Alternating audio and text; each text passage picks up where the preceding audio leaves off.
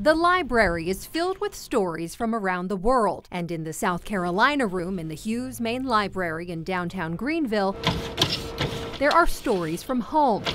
On microfilm, in this local newspaper from April of 1930, there's a ghost story. It says headless ghosts of bandit perches on Poinsett Bridge on rainy nights. Jana Rains is the South Carolina room supervisor. She says this is one of several reports of spooky sightings at the Poinsett Bridge, which was built in 1820. It is believed to be probably the oldest surviving bridge in South Carolina and possibly even the southeast.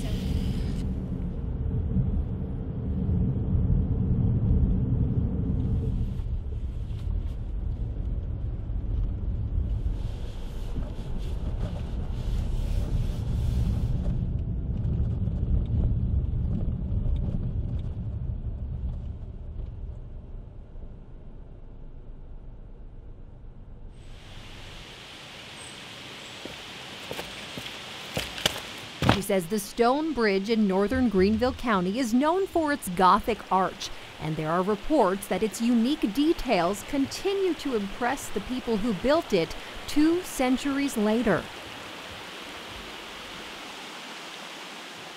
There's mention that there were two former workers that enjoyed their work so much that they come back and visit the bridge at nighttime. According to this survey from 2004, those visitors are two Irish Masons named Danny and Denny but Shanna says not all of the people who worked on this bridge survived to see its completion. Um, some of the archaeological survey that we have does mention that some of the workers may have gotten ill during their time working on the bridge. She says it's believed the workers died of malaria.